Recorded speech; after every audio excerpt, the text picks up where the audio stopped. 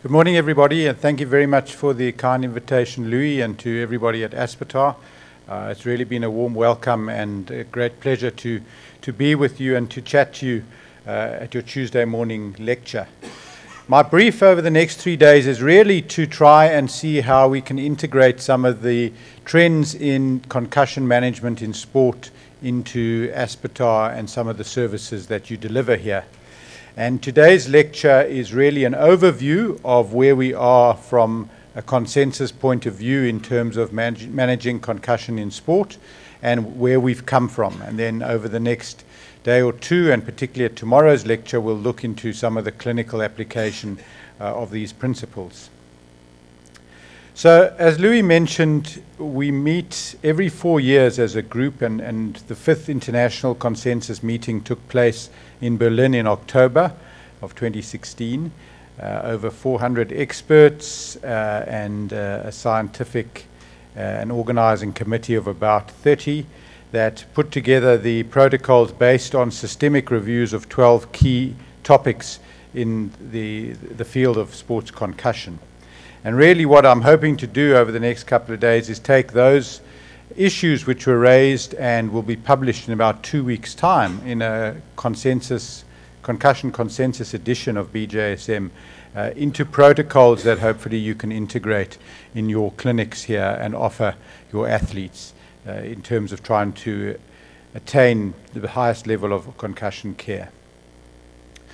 Now, I, I often sort of sub, uh, give a subheading to this talk, uh, Clearing the Clutter, and it's really a play on words to say that there's so much information out there now on concussion that it sometimes becomes extremely confusing to know what we're dealing with. And also that this is very much how the concussed player often feels everything's going on in their heads, and I'll explain a little bit about the neurophysiology in a couple of minutes. But it's quite an erratic disarray of information going on in their heads, which is not always apparent to everybody on the outside. And that clutter is often very, very confusing to them. So, as I was walking around and being introduced to the various departments yesterday, it was brought to my attention that uh, there are some areas in this clinic which also need to have some of the clutter cleared. Um, and someone thought that they might take something out of this lecture in that regard. I can't promise that, but whoever's desk this is, and, and some of you probably know, uh, clearing the clutter may, may apply there too. So, where's concussion come from? So, historically, it really comes from the uh, Latin word concutere, which means to shake. There's this condition which has been described over the decades, commotio cerebri, and over 3,000 years ago, ago, you can imagine the gladiators in, in Roman and Greek times certainly would have su sustained traumatic brain injury. So it's not a new injury. And one often wonders why we're making such uh, a hype about it now when it's a condition that's been around for centuries. And, and we'll explain a little bit about that.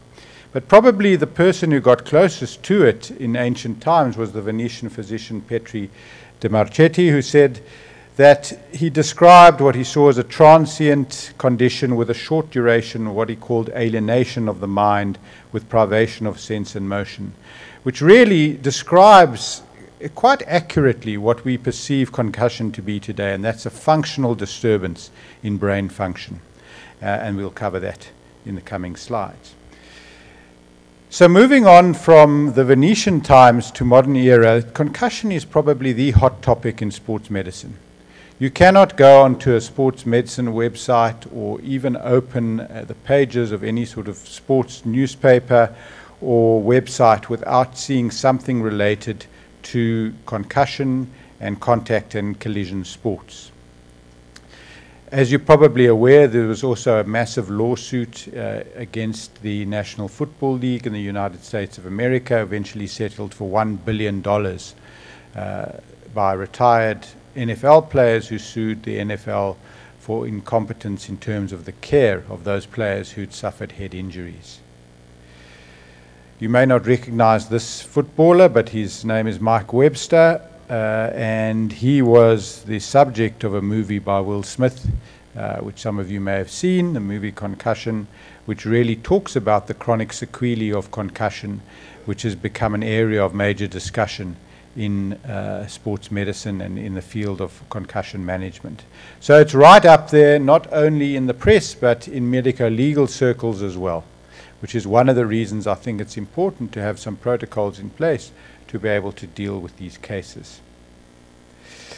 So, very kindly, Craig Tanner through Louis sent us this yesterday, and this happened just on the weekend. So, this is a case of a rugby league player in Australia who sustained a concussion, and uh, it was quite clear that he had a concussion and yet was allowed to play on in the game.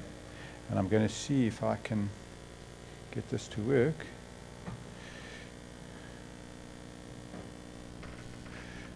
Uh, let's see if it comes on. Okay.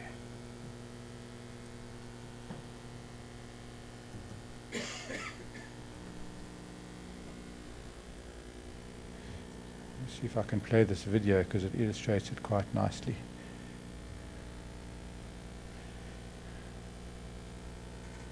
And then one. Hodkinson. This is Elliott running towards the wing of Nathan Ross. Oh, there it is. And now there's a problem for the fullback at Newcastle. It's penalty.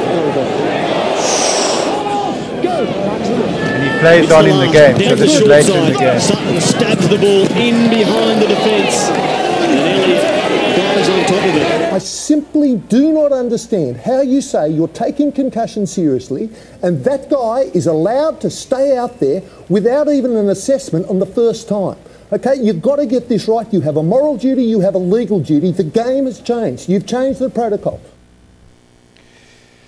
So that's just an idea of some of the things that are happening, uh, some of the issues which are being highlighted, and the fact that it is no longer a medical issue, it's a public health issue. It's out there. That was a, a rugby commentator talking about the issue. It's a very public issue. And I think any uh, organization which manages athletes needs to have some protocols in place to be able to protect themselves.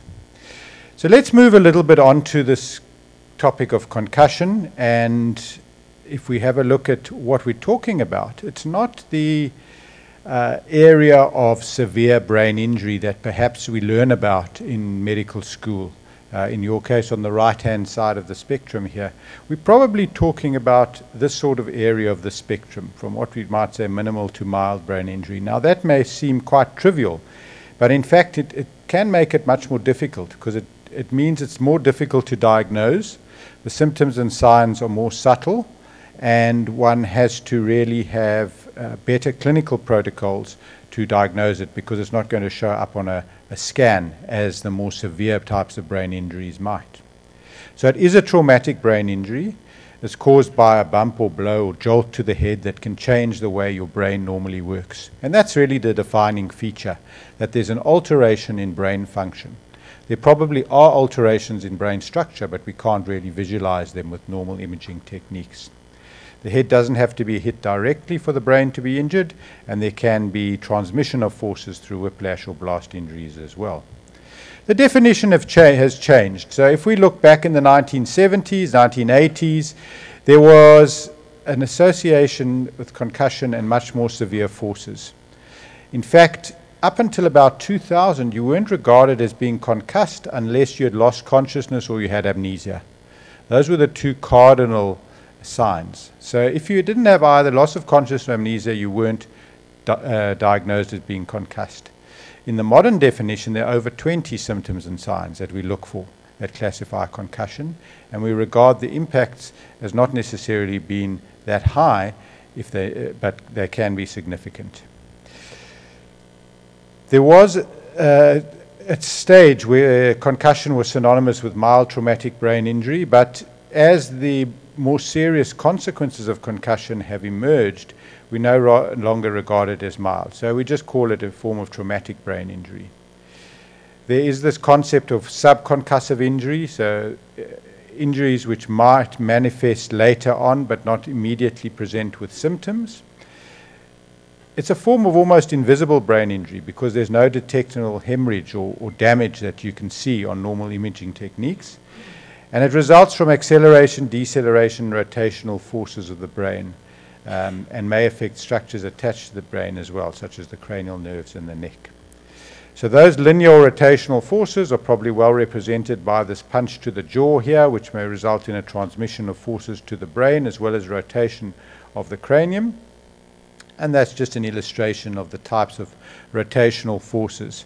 And this is one of the reasons that helmets don't offer as much protection as we would like them to, because they don't stop those rotational forces and the, and the inertia of the brain within the cranium. What happens after that is postulated to be a succession of post concussive chain reactions, which disturb the neurophysiology uh, of the brain. So there's a significant destructive pathophysiological and biochemical response that initiates a significant chain of neurometabolic and neurochemical reactions. And that's very significant because the changes are happening at a neurophysiological level rather than a structural level. And those physiological changes include an activation of an inflammatory response, a disturbance of ionic concentrations, an increase in excitatory amino acids, dysregulation of neurotransmitter release and synthesis, a disturbance of mitochondrial functions and energy metabolism, and the production of free radicals. It's a biomechanical injury which results in a flux of potassium and sodium ions, generation of excitatory neurotransmitters, potassium influx, an exacerbation of an efflux of potassium, depolarization, um, eventual glycolysis, and, and, decreased blood flow. And these slides from our colleague uh, Bob Cantu in, in Boston illustrate this nicely. So this is a normal sort of nerve function where the signal arrives at the neuron, uh, travels down the axon to another cell, and then neurotransmitters are released in a very organized manner, triggering the next cell with a specific coded message. It's a sort of nice graphic representation of normal uh, neurophysiology. What happens during the injured state is that potassium ions rush out of the cell, Toxic calcium ions rush into the cell, leading to metabolic dysfunction. That results in an energy crisis and a massive release of neurotransmitters, which interferes with that communication across cells. And in this state, the cell becomes very vulnerable, and further injury or stress may cause cell death or serious damage. And that's why it's so important to stop playing at that stage. And it may take many days, sometimes even up to weeks, for the nerve cells to return to their normal condition, which eventually uh, it does, and then the transmission uh, comes back to the normal state. So I think one of the take-home messages from this uh, introduction is that there's a significant disturbance in the physiology of the brain. People are looking for uh, structural disturbances, and we cannot see those, but the physiological disturbances are very real. And that occurs at a microscopic, cellular, molecular, and metabolic level. Uh, but most, the good news is, resolve with time and rest. Uh, and that's, that's uh, important. So, the way I often explain it to patients is that the brain and, and the nerve transmission in the brain is very much like a busy six lane highway. So, each lane will take a, carry a different sort of traffic. Some might take emotional traffic, some might take cognitive traffic, some may take physical traffic, uh, some may take balance and vestibular traffic, etc. And when you have a concussion, it's like an accident occurring in two or three of those lanes. So it blocks off part of the flow. And that may be more the balance and vestibular, it may be more physical, it may be cognitive, depending which lanes are obstructed. Whatever happens is if you try and carry on doing the same things you always do, it's like trying to push peak hour traffic through the remaining two or three lanes, and you get a tremendous backup of the traffic flow, and that's what it feels like to the concussed patient. So we mentioned that concussion has been around since the Roman era. So why is it so serious? Why are we all of a sudden taking this to heart and making such a fuss about it? Well, there are a few reasons, and these are some headlines just from local papers uh, in Johannesburg, where I live, from about seven or eight years ago, where we had three incidents of schoolboys who died as a result of their concussions either not being diagnosed or not being treated adequately. So they suffered a concussion, they played on in the coming in the same match or in the coming days, and as a result of the neurological injury, they died. So that's a very, those are very extreme examples. Also important to me in this whole process and why one has to have protocols that look at function associated with the brain is that athletes lie. They all want to play. Okay, there may be some big games coming up, there may be money involved, and one has to have protocols in place that objectively assess the criteria, and that's what we're going to be trying to look at a little bit depth tomorrow. So if I had to summarize why I think concussion is serious, the first thing is it may mimic other potentially serious head injury. So those head injuries at the right hand of that spectrum I showed you, where there may be significantly more structural damage and bleeds. In the beginning stages, it's difficult to tell the difference between them, but they may present uh, very similarly and they may evolve into those serious injuries, and you need to detect what we call those red flags. The second is, an, is a condition called acute diffuse cerebral edema. Some people call it a second impact syndrome, which may result in significant brain injury and death. And that may have been what happened to those schoolboys. So there's diffuse edema which occurs. Some people think it's primary. Some people argue that it's secondary to another blow after the brain's been initially injured. But that edema results in significant neurological fallout. The third reason is we're often dealing with a young cohort and they're often studying, they're learners, and if, we, if they suffer concussion, it significantly affects their ability to learn. So you need processes in place that protect them and allow them to get back at optimal function to the learning environment. The other reasons are what we call a post-concussion syndrome or a lingering symptom complex. If you don't address concussion early, the symptoms can linger for weeks or even months. And one has to take it seriously and get those under control because it can be a very debilitating condition affecting many aspects of their lives. The next is the hot topic of concussion at the moment, and that's called CTE or chronic traumatic encephalopathy, which is a, a neuropathological condition diagnosed post mortem, which we're going to cover at the end of this talk, which can result in severe debilitation, and then the last point is that concussion has now become a public health issue. And so medical legally you can be exposed if you don't have protocols in place. So if we look back just 15 or 17 years ago, you were only diagnosed with concussion if you lost consciousness or had amnesia. We used to classify them into grades 1, 2, and 3, and management was quite variable. So if you went to three different doctors with the same condition. One might say you can be off for a week, another would say three weeks, another would say three months. You know, some people would say never play again. It was very random as to how you were diagnosed and classified in terms of your management.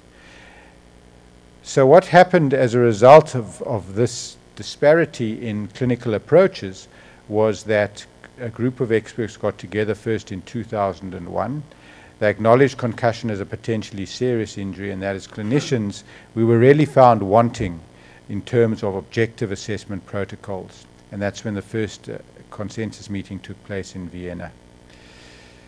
Subsequent to that, a number of consensus meetings and statements have taken place, uh, as I say, uh, culminating in the fifth international conference in Berlin in 2016.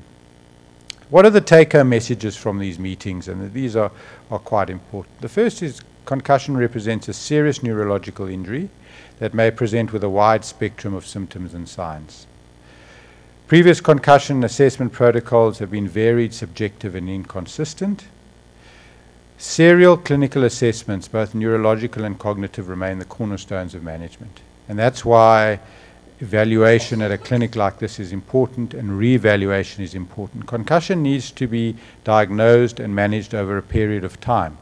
You cannot see the player on the side of the field there and then make a diagnosis and come to a prognosis. It, it really need, depends on how that individual responds and progresses. One thing that's changed the picture is the emergence of computerized neuropsychological or cognitive testing which has provided a useful diagnostic tool and helped us in our research. What do we mean by this? We mean that these are really almost like little computer games which give us information on how the brain is functioning and how it's changed in function. We can compare what we call a baseline test, which is a pre-season or test done early in the year in the normal state, with tests done after the injury and see how things have changed in terms of criti critical parameters such as reaction time, memory, and information processing speed. And then very, very importantly, something I was discussing with Louis yesterday is the education component. If people don't understand why concussion is important, why you need protocols in place, then we're going to continue to mismanage it as that rugby league player was mismanaged in that video that we saw. If you have an education program in place that targets the layperson, the athlete, and the clinician, then everybody is on the same page and understands what we're trying to do, which is actually to get the patient back on the field, not to keep them off the field, but to time, the, the, time it correctly. So in 2017, you know, we don't just have that simple definition anymore. We've got a much broader definition. We've got a spectrum of symptoms. We've got computerized tests. We've got serial clinical assessments. We've got physicians and neurologists involved, neuropsychologists, some scans, hospital management, home management, no defined return to play time frame. So, so really, that's what I mean by a lot of clutter. It almost seems more complicated than it was before. It was easy before. If it was lost consciousness, you, you, you, you kept them out for two weeks or whatever, and that was the end of the story. But now it's much more difficult. And I like to look at it in this way. So this is a brain here, as you can see, but it's not any brain. Okay, it belonged to this man here. So he had a lot of wise things to say, Einstein, and one of the quotes of his that I like is that the most beautiful thing we can experience is the mysterious. It's the source of all true art and all science. He to whom this emotion is a stranger, who can no longer pause to wonder and stand wrapped in awe, is as good as dead. His eyes are closed. And I like this in this context, not only because of his fantastic brain, because concussion is a mystery.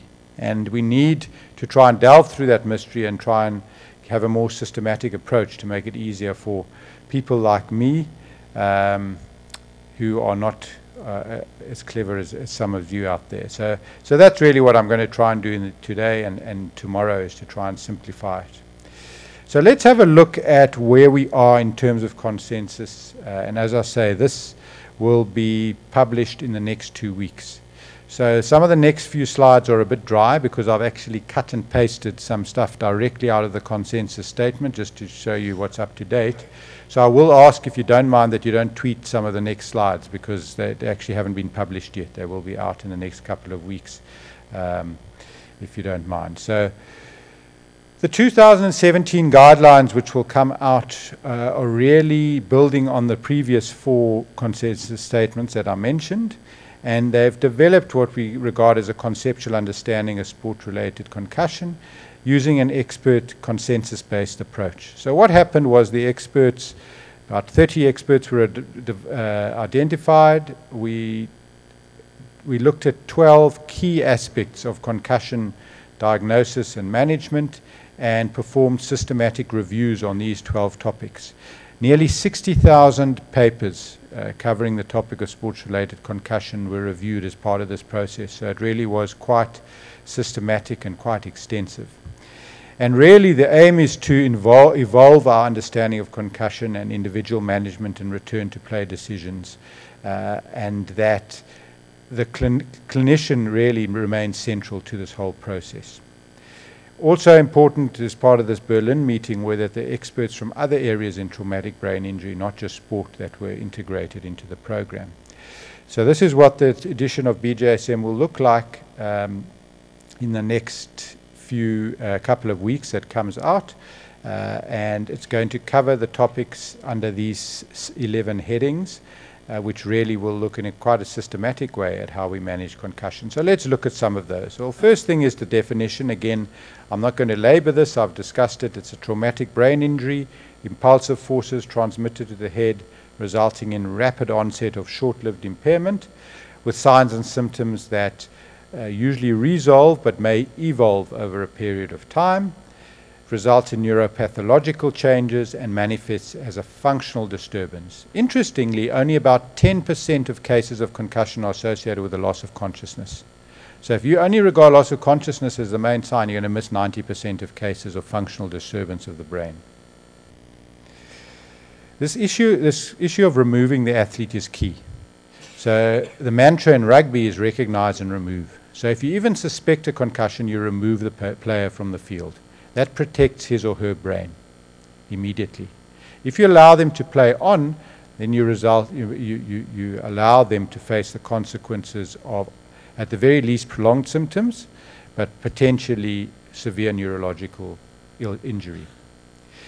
One of the things that was found to be of use in our review of the literature is sideline video review. So if you were on the side of the field at that rugby league game, you might have missed. So if you're on the other side of the field, you might have missed that player going down. So as a as a case in point, if you're able to watch it on video on television as we did there, you can see quite clearly that before he hit the ground, he was unconscious. He had a limp body. And so the use of sideline video review, obviously more in the professional sporting realm, has made a big difference to sports like NFL and uh, rugby. Soccer has tremendous uh, television coverage, and there's really no excuse for missing incidents of, of concussion where they take place in a, pro uh, a professional environment. Once that player is removed, they undergo what we call a multimodal assessment. Because concussion is a functional injury, you cannot diagnose it on one particular parameter alone. So you can't just use physical signs or loss of balance or loss of memory or loss of consciousness. You need to look at a whole lot of modalities. So there's a tool called the Sports Concussion Assessment Tool, and it's in its fifth, fifth version now. And that is a very useful protocol that if anyone is managing concussion, you need to become familiar with. And that's going to be the topic of our workshop tomorrow is to look at those protocols. And as a sports clinician, physiotherapist, whatever, that's something you need in your toolbox to be able to use. And that new version, again, will come out in the next uh, two weeks. And that test takes at least 10 minutes, which makes a little bit of a mockery of sports such as soccer, where they expect the clinician on the field to have a look at a player and make a decision then. So ideally, sports should allow a process where that player can come off the field and be assessed properly. And that process looks at what's happened on the field. It looks at the red flags, which may indicate more severe injury. It looks at all of their symptoms. It's a brief neurological screen. It incorporates a balance component. Uh, and it has some verbal cognitive tests which give very good information in a period of 10 to 15 minutes as to what's happened with that player. If you have baseline information, you can compare it to that, and if you don't, in any case, you can use it to mo monitor that player in serial evaluations in the days to come. And that is important, that re-evaluation process. So it's not just evaluation, it's re-evaluation. You take a comprehensive history, a neurological examination, you determine the clinical status and whether they've improved or deteriorated since the last time. And that helps uh, inform your decisions as to what to do. There are criteria which determine whether you should send that patient for imaging. And we had some discussions with the imaging department here yesterday. And the key issue is that most of these don't require imaging because the imaging doesn't offer us much. You image if you're worried about more serious structural brain injury. That neuropsychological testing doesn't necessarily have to be computerized. There's useful verbal tests which can be used. Obviously, one of the challenges in this environment are the cultural and language issues, and that's something that we have to have some discussions about as to how we get around those. But certainly, your protocols will have to be customized. The key intervention is really rest in concussion. There's no magic pill. No magic pill which is going to allow you to recover. And that rest needs to be both physical and cognitive. Interestingly, the research is showing that it doesn't have to be complete rest physically, and that actually some uh, integrated exercise and rehabilitation can help, as can gradual reintroduction of some cognitive stimuli as well. So it doesn't have to be complete rest as long as the rest is below the level that exacerbates their cognitive and physical symptoms. So we do it just enough so that they don't feel a lot worse, and that allows them to get back. One of the key concepts that's come out of this last consensus meeting is that of rehabilitation, and that will interest the physiotherapists uh, and if there's psychologists among you, amongst you as well. So we don't just sit back and watch these concussions and hope they get better. We intervene. We manage their symptoms. A lot of their symptoms may be cervicogenic, so we treat their necks. A lot of them might be vestibular, so we stimulate them. We, we gradually try and stimulate the ocular vestibular uh, systems and circuits. we introduce gradual rehabilitation and exercise and gradually reintroduce them into the cognitive environment so they can get back to school and learning and work and sport as well. You need to have a referral system. Okay, so you need to have someone who manages, and that's usually the sports clinician, but you need the therapists involved, you need the psychologists. For those more severe cases, you will need imaging and neurological and neurosurgical support as well. So that's very, very important. So you really need to look at a, a multidisciplinary collaborative setting in terms of managing the concussion. Recovery, okay, uh, the key issue is that the greater the number and severity of the symptoms, the slower the recovery. So the more florid the presentation initially, the slower they are to be uh, to, to recover. There are other what we call modifying factors, factors that mitigate uh, a, a, rapid uh, recovery. So to give you an example, if you have a 20 year old who sustains a first concussion and they have three or four fairly low grade symptoms, they're going to really recover in a very uncomplicated way usually. If you have a 14 year old who has attention deficit disorder, a family history of depression, they're on treatment for their ADHD, okay, and they might have had encephalitis as a child. They've got four or five mitigating factors or modifying factors which say, listen, this brain is a little bit more vulnerable. And there's no scorecard for that. It's really a clinical impression that one has, but we need to take those into consideration when managing these patients. Obviously, the most important to a sports person is their return to sport, and I've cut and pasted that uh, protocol, which is obviously a little bit small as it presents. But the fact is, it's a stepwise approach. And once their symptoms are clearing, we start them on this return to play process where they're introduced firstly to daily activities and then to gradual, uh, gradually increasing intensities of exercise, eventually to simulate, simulating their specific sport, and then getting them back into semi-contact and contact. So it's a graduated process that allows them to adapt along the way and also allows you to monitor whether they're coping at each stage rather than going from a period of total rest to a period of full contact again. Importantly, the children in particular have to be progressed back into school, and again, that should be a graduated process where they start at home with gradual reintroduction of reading and screen time, and that progresses into getting them to do more homework and an introduction into schoolwork with, with accommodations and then eventually into full school. This process of, of uh, concussion needs to be customized. So it's not so much elite versus non elite athletes. We try and apply the same principles across the board. So a clinic like this wouldn't have to modify their protocols according to the level of athlete. You do need to modify it according to the, to age of the athlete, and children take longer to recover. The developing brain seems to be affected more. So age specific guidelines are important. I think it's very important if you're a school or you're a clinic to have a concussion policy in place. And that's something that needs to be uh, worked on. And eventually, the whole point, of course, is to return them to school and to sport. As I mentioned earlier on, this is really the key or hot topic in, in sports medicine and concussion medicine in particular, and that is the issue of residual effects.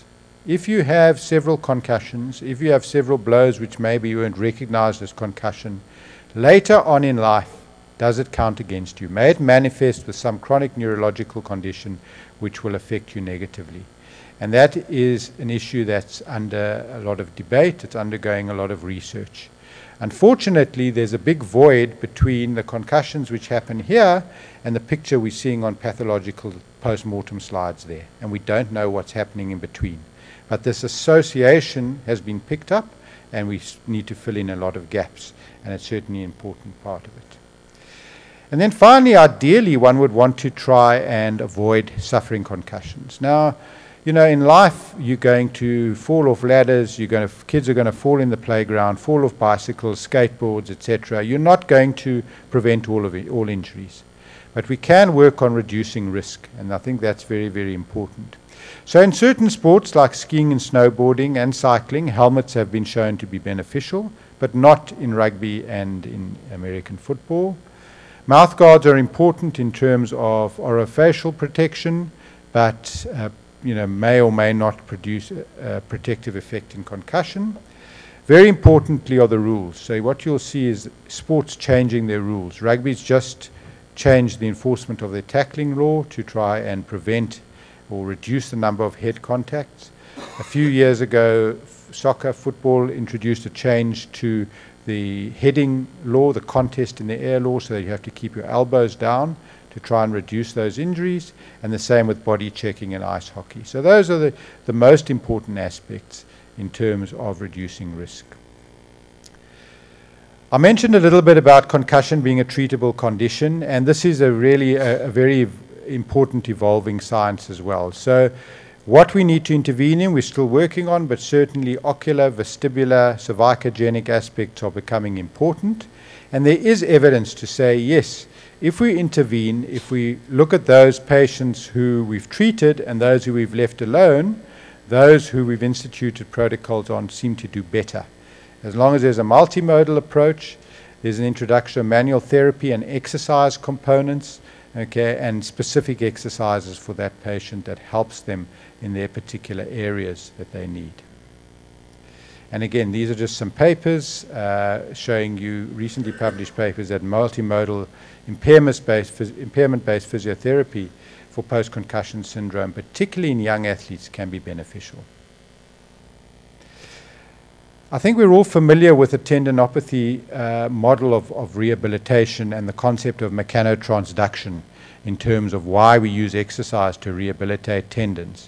And I see a similar thing with neurological rehabilitation and recovery, that by gradually exposing the neurological network to a degree of stress, you actually allow for adaptation. And I think that's a concept that we're coming to grips with and incorporating. If you look at the oculomotor circuits, they're very, very complex, of the most complex in the brain. And by stimulating these, you stimulate a number of circuits in the brain. Uh, and that allows for, firstly, more significant assessment of the, of the concussed player, but also for rehabilitating a very extensive network of pathways. And I think this is an exciting area for development, particularly at a clinic like this. I always maintain at the back of my mind that not, only, not every headache associated with sport is a concussion, so you've got to remember the differential diagnoses, the potential bleeds, migraines, seizure disorders, cervicogenic causes, vestibular causes, vascular causes. There's a number of causes that may be associated with sport that aren't concussion related. And sometimes when we're so focused on a particular topic, we forget about the other potential differentials, which we shouldn't do.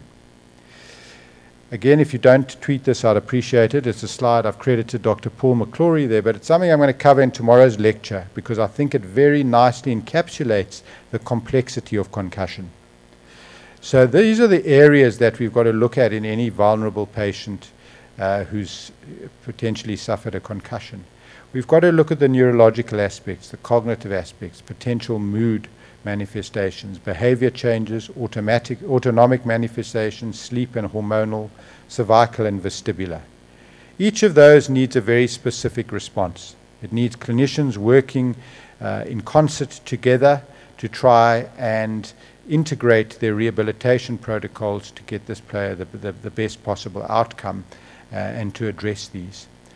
One of the things that I find in clinical practice is that taking a blow to the head often results in the manifestation of neurological and psychological issues that were perhaps bubbling under at a, at a subclinical level. So the, the young person who perhaps had attention deficit disorder, which wasn't uh, picked up or treated, suddenly has real significant difficulties learning.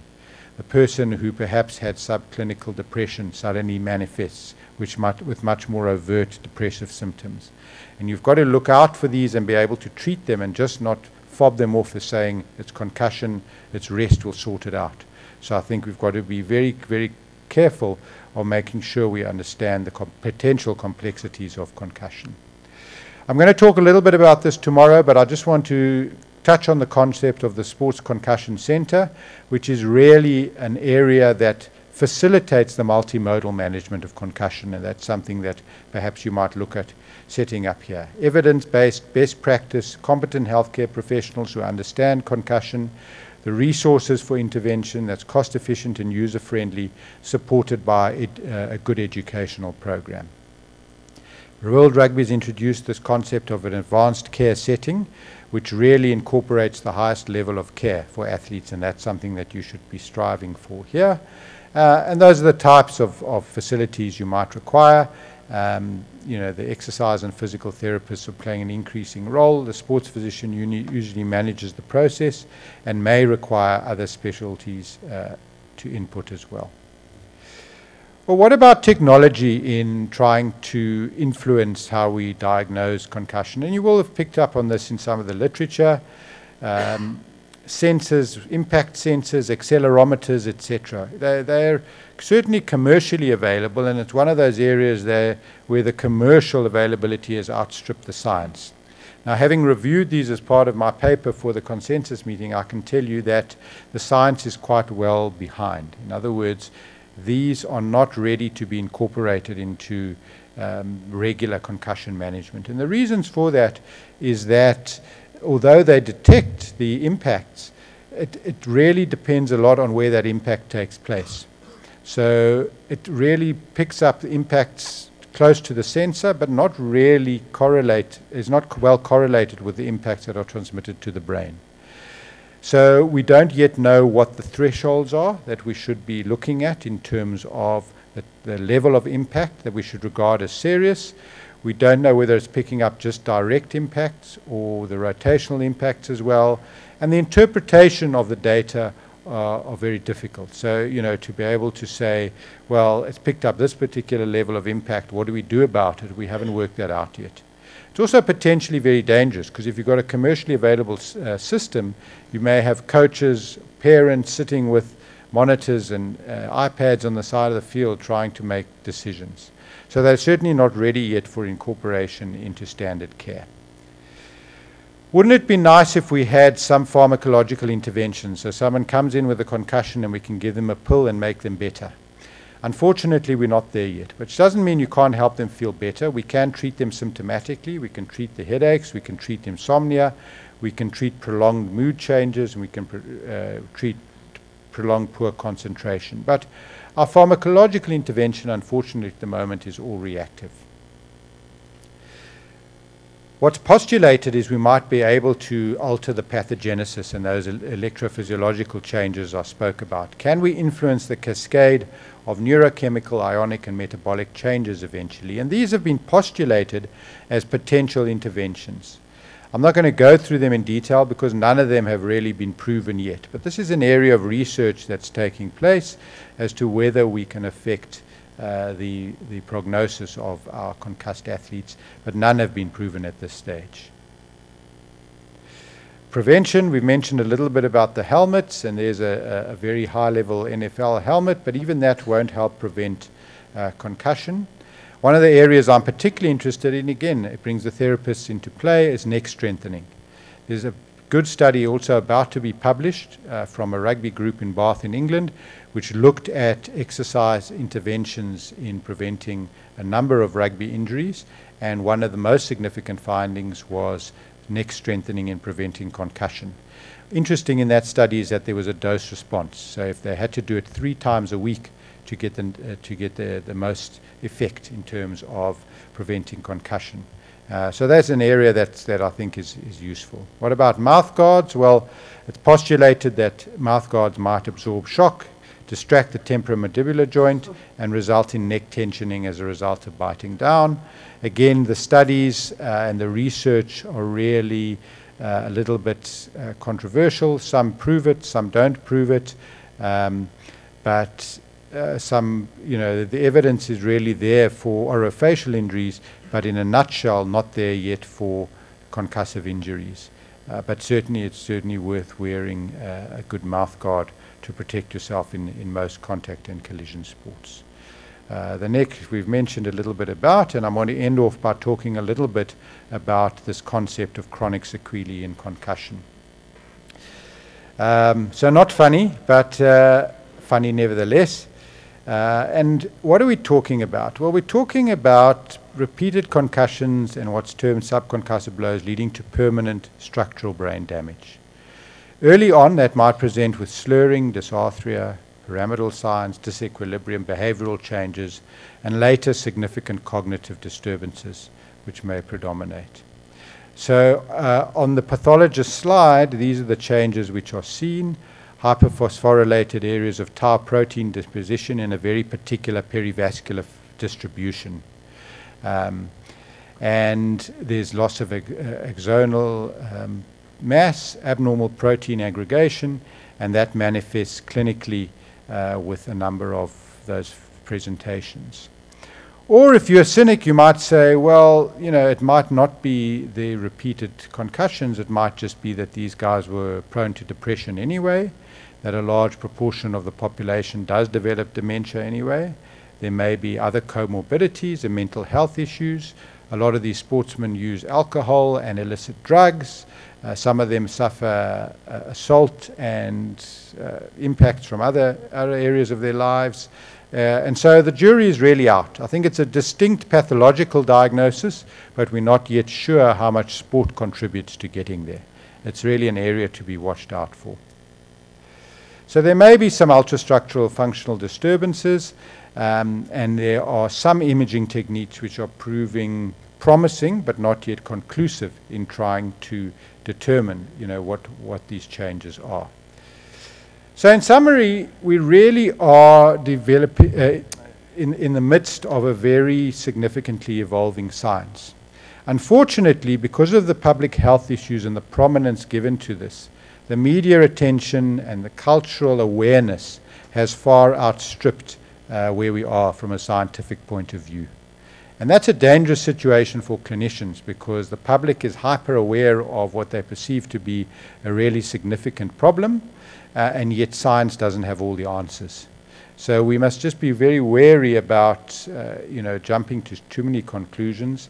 Use the science we have, which is what the, the consensus protocols are about, and hopefully we'll have some answers uh, in the coming years in terms of further diagnostic markers and certain clinical implications and, and interventions, um, starting from the conference we've just had. So I hope you've had a little bit of input that's cleared some of the clutter, cleared some of the confusion, that you understand that we do have clinical protocols based on international guidelines, that the key message is to recognize, remove, and refer, and really to take consensus uh, from what we understand it to be and hopefully implement it into a clinical setting uh, in Aspetar and other environments.